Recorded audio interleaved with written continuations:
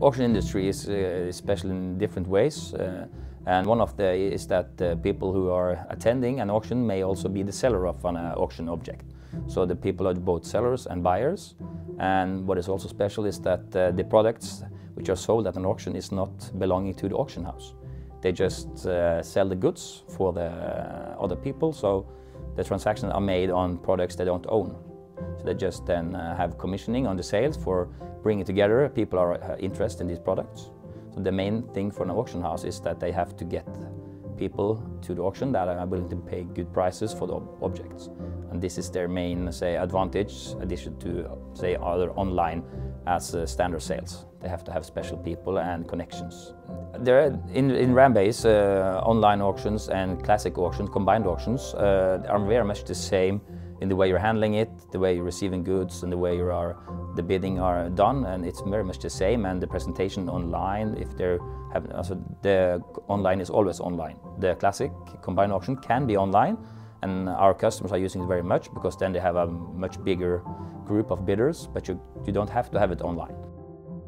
The main difference is that uh, when you have a combined auction, the auction is ended in the, on the podium that you have, you have an uh, auctioneer who is then, say, clubbing it and then it's sold. And on an object is then sold online only, and it's when the time is over and no more, bids are uh, being uh, sent, then, it, then it's over. Uh, what we see is there are a lot of smaller companies which are in need for more efficient uh, IT solutions. And with RAMBase being a SaaS solution, we see that we can have quite efficient implementations, meaning lower costs, and we can say also take in more smaller companies. We have an auction module which covers almost uh, the most needs of auction handling. But in addition, we have all the logistics handling for uh, order handling, you have the, the shipment, and you have the, also the invoicing part with advanced uh, counter accounting where the suppliers, which also can buy stuff, can have counter accounting and it's very efficient for the auction house to do the settlement afterwards. So, so you have the complete process from the reception of goods to the selling part and then also the shipping and invoicing. So everything is handling uh, in RAMBase using standard RAMBase methods.